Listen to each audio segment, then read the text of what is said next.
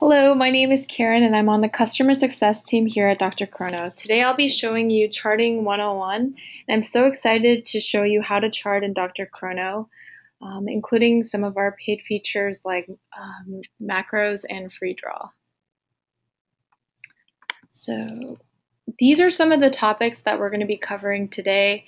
Um, I'm going to start off with uh, showing you how to do macros and free draw. So let's let's jump straight into that.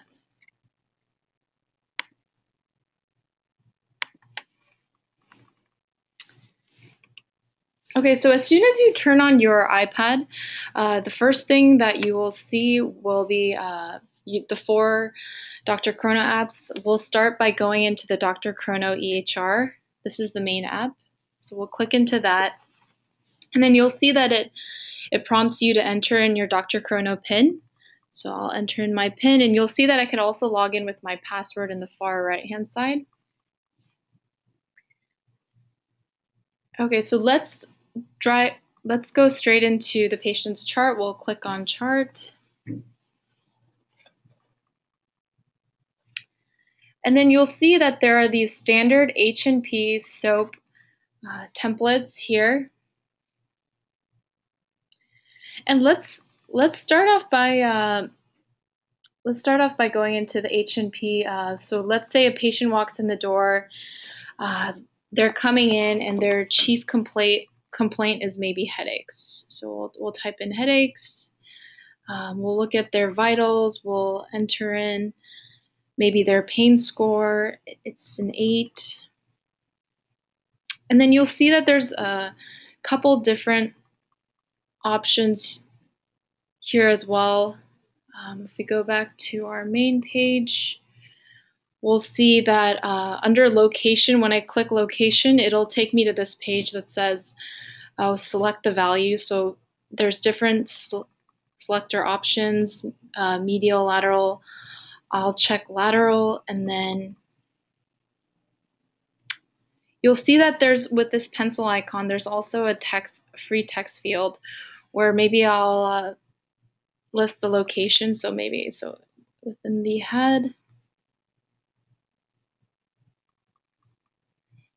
And then once once we've entered in our chief complaint, our vitals, we've also entered in the location and you could fill out as much of this as you'd like. And then if you look on the far left hand side, you'll see view complete note.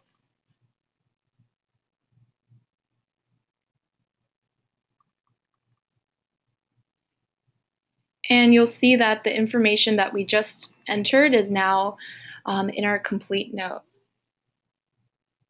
So going back to this, this template, when we enter in information here, you'll see that there's these four, there are a couple different uh, options here in terms of uh, these are our, our, macros. So this is a great way to just quickly enter in text without having to type it out manually. So I, so I could click on maybe abdominal pain and then it'll see that the name will come up and you'll see that they're complaining of abdominal pain. So this is a very uh, fast way to chart and just um, save time and be efficient.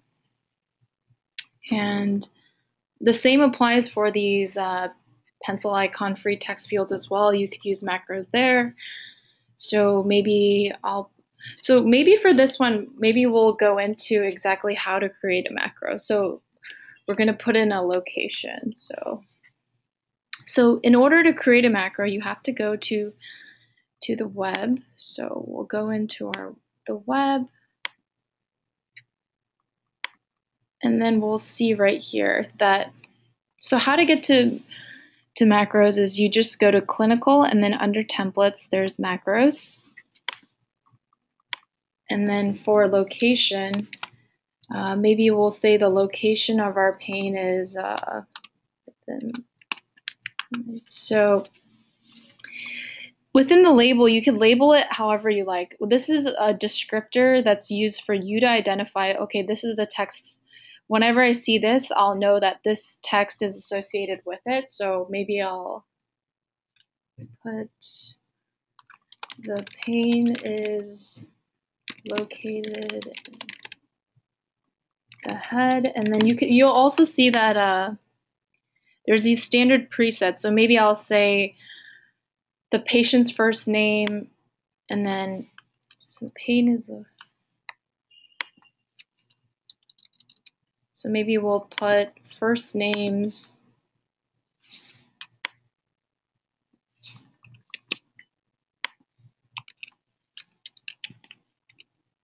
So we'll save that.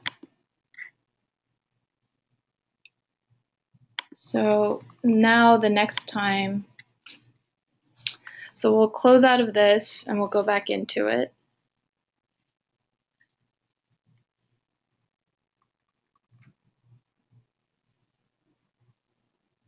And then when you scroll to the right, now you'll see that you have this macro right here that you could very easily just press and then now it'll show, okay, Jimmy's pain is located located in the head. So it's a very quick way to uh, just chart and now so now let's see how when we after we've inputted those macros if we click view complete note let's see how it shows up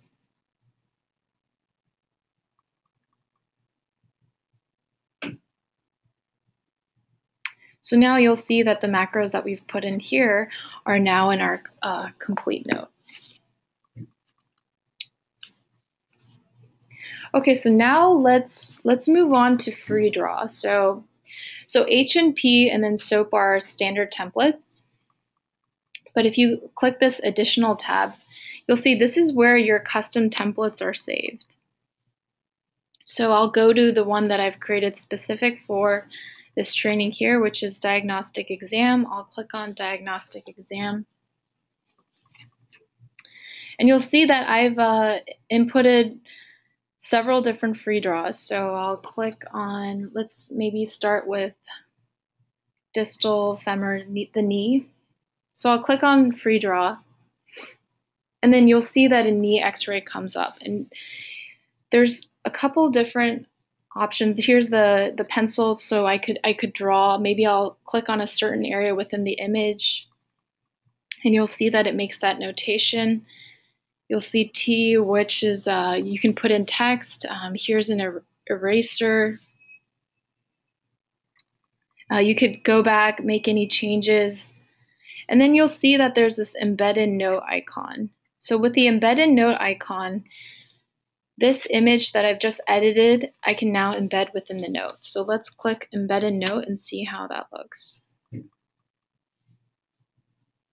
So it's processing, uploading.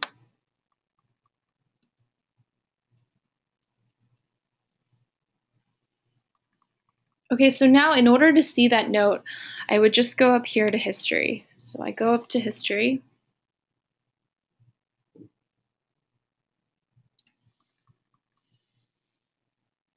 Wait for the, the note to load.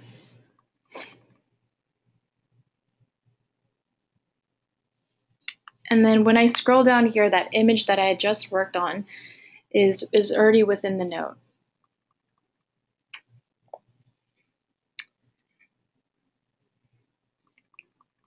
Okay, so going back to the diagnostic exam, let's say, okay, so let's go into another free draw. So let's say instead of uh, drawing on this free draw, let's say the patient walks in and you realize that you want to operate on a certain area. So maybe you want to take a picture at that time point. So you'll see that if you don't want to use this image, maybe instead you could use this, this camera right here. So you, we'll click on the camera we'll take uh, maybe a, a, picture of, of whatever we want to um, edit or show, and then we'll, you'll click Use Photo on the far right hand side. It's processing, and then you can make um, you can show the patient exactly where you want to to operate. And again, here's that embedded note option. So then now this image that you've you've taken is now uh, within the note. So th that's a really exciting uh, feature of DrChrono. So let now let's go into okay. So how do I create this free draw? So in order to do that, we would just go to the web. So let's go in here.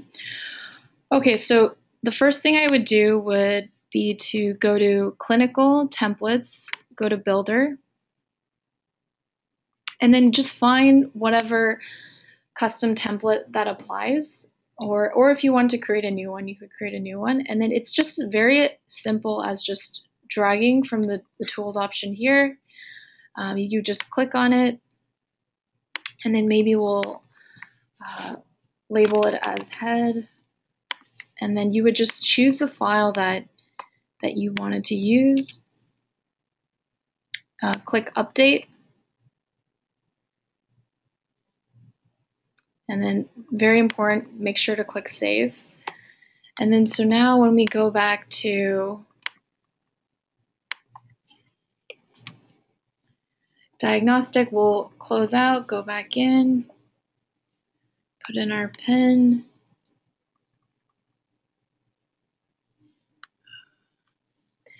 Uh, sometimes you do have to sign out.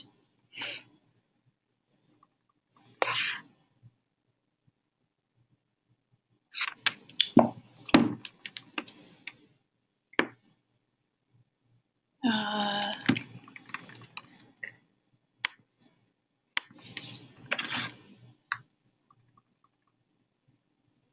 so we'll input in our username and password and then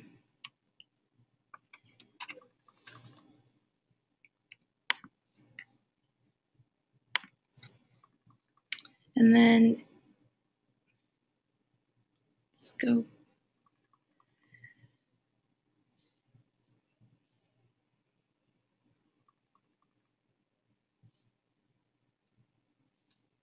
Hmm, it's strange. So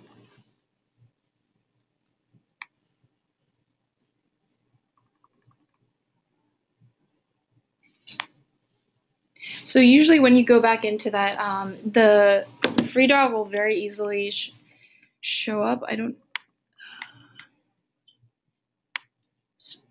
So this will show up in the exact same way that we did on our did on the iPad. So free draw and macros, those are very um, easy way to simplify your charting. And then let's move on to some of our more uh, exci exciting features as well. Let's see. So if you have a Hippocrates or a higher plan, there's a couple um, different features that you get through that. Um, you get tasks, um, insurance eligibility checks. So I just want to kind of run into, run over how to do those. So we'll go into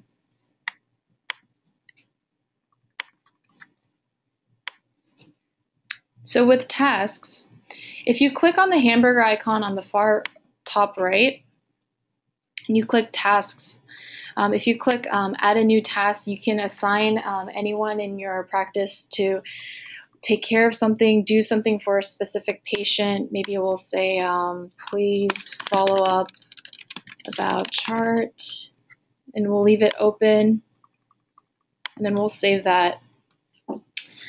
And then it'll show up in your new tasks.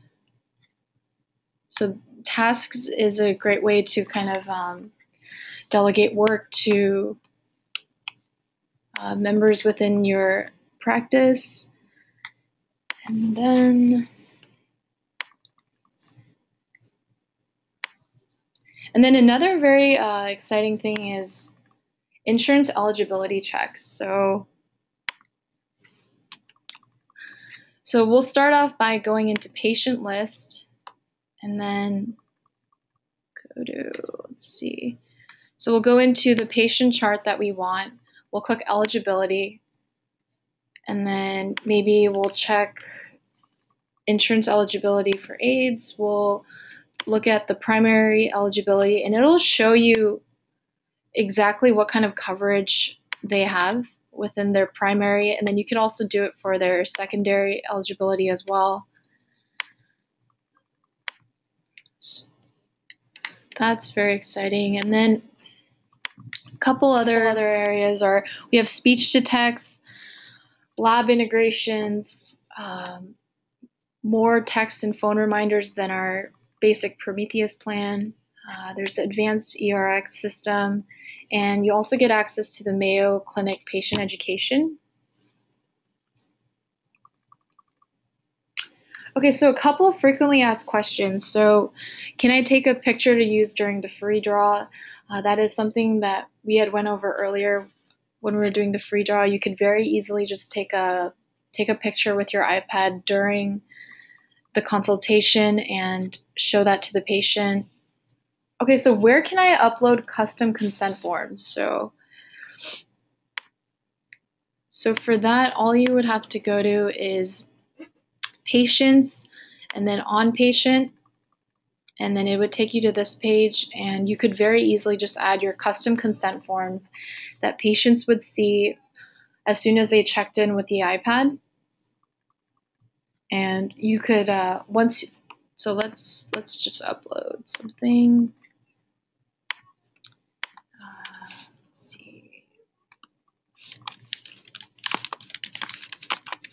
and you'll see that two options come up require the patient to agree or sign by default and you could upload that um, and so th- so this is how you would upload custom consent forms And will speech to text understand my accent? Yes, they will. And can I create uh, macros on the iPad? You can't create on the iPad, but you saw how it was a very uh, easy way to create them on the web. So in terms of our next trainings, we have two upcoming trainings uh, specific to templates. So if you want to learn more about building custom templates, uh, you should definitely join us on May 26th and June 9th.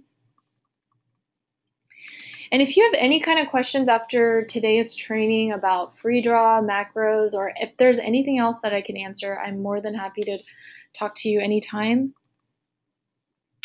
And uh, we're having a special webinar promotion right now. If you s- sign up for a free demo of a Prometheus or higher account, uh, we'll enter you into Apple Watch Sport contest.